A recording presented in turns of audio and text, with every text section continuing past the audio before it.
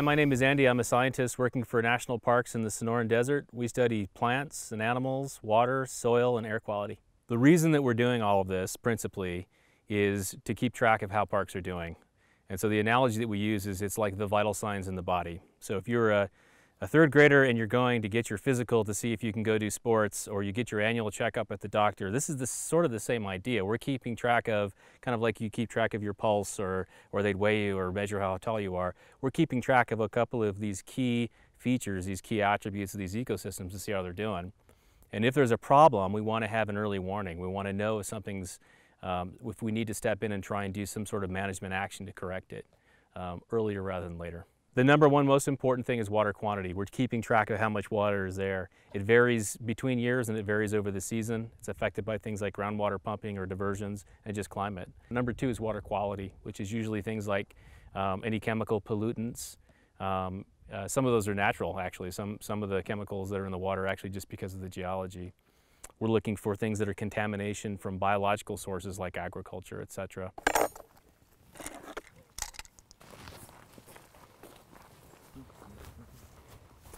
I'm Laura Palacios. I'm a biological science technician for the Sonoran Desert Network.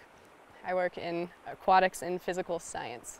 My name is Finian Freeling. I'm from Germany. I'm a hydrologist and I'm doing here right now an internship at the Sonoran Desert Network and I'm mainly working on um, water quality here in several parks in the southwest and I'm interested in emerging contaminants like pesticides and pharmaceuticals the majority of what I look at is how water quality is being affected over time.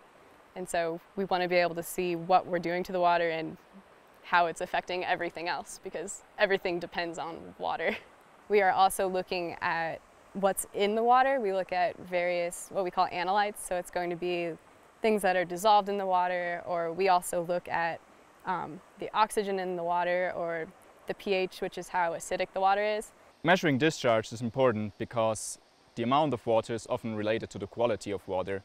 So measuring like discharge like here, the Beaver Creek tells us, okay, okay, the quality of water is good here.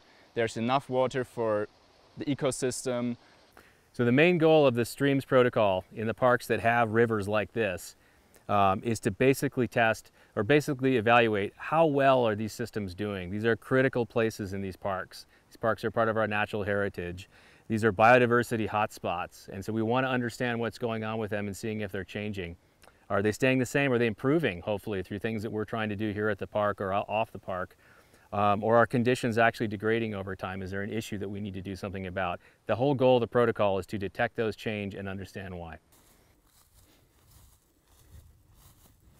My name is Fraser Watson. I'm a biological science technician uh, with the National Park Service here at Tuzigoot and Montezuma Castle National Monument. Right now we're in Tavasci Marsh and it's a part of Tuzigoot National Monument. Um, so right behind me where all the cattails are is standing water, which obviously in Arizona is uh, a commodity. There's not a whole lot of it. And most of the marshes that existed once have since been drained. So the resource we have here is pretty special for uh, the Sonoran Desert. We're out here looking for the Mexican garter snake because uh, it's endangered. It was just listed on the endangered species list um, this past spring. Um, so we know it occurs in our park and we want to keep tabs on the population here and see if it's increasing, decreasing, uh, what's going on. The Mexican garter snakes theoretically use the boards as cover from predators and uh, maybe just to cool off uh, if it gets too hot even though they are cold-blooded, they can get too hot and they go under the cover boards just for some shade and protection, just to hang out. Uh, it's right next to the marsh itself, so if the snakes are traveling in between the marsh where they forage and uh, right outside the marsh where they hibernate, they come right through this area and use the cover boards. So we just lift up the boards and check to see what's underneath them. Right now there's no snake, unfortunately. Um, but we have a lot of boards and we check them every week uh, so that we can catch as many snakes as possible. The reason these Mexican garter snakes are endangered is because they're highly dependent on riparian uh, environments and in the Sonoran Desert those are in short supply And they're becoming in even shorter supply because of humans draining wetlands like this or altering uh, stream flows in rivers. Um, so they're already, small habitats are getting even smaller. We have uh, several of the parks that we work for are cliff dwelling parks. They're little culture resources parks that were set aside for a, a cliff dwelling or you know, some other major prehistoric feature. Um, there's a reason people built those things there. Usually it's water. My name is Laura Varon Burkhart, and I'm a park ranger here at Montezuma Well. Part of my job is to learn all about the science behind this place and then talk to visitors about that and teach them about what makes this place special. Montezuma Well is a geological formation. It's also an archaeological site because the Native Americans that lived here, we call them the Sinagua, they built homes inside the walls and also around the rim of Montezuma Well. And they lived here from about 1050 to 1420. And they used the water from Montezuma Well they caught that all that water that leaks out into an irrigation system and they used the water to irrigate or to water all of their crops. So what makes the Sonoran Desert so special is truly its, its biodiversity. So you, you, may not think of the river behind me as being part of a desert when you think of the word desert, but it is. It's a really important part of that desert. So it's everything from, from mountaintops covered in conifer trees and black bears to saguaro cacti in these giant wide valleys, river corridors, and sort of everything in between. It's biodiversity, and we don't mean just the number of species, but the wide variety of kinds of species and life that's out there. It's all occurring in a relatively small area. That in the same day, you could drive your car and see alpine, areas above tree line, and you could drive down and see, see desert, see saguaro cacti. When I first came here, uh, I probably thought what everyone thought, that it was a desert and very barren, desolate, and didn't seem like there was a lot going on.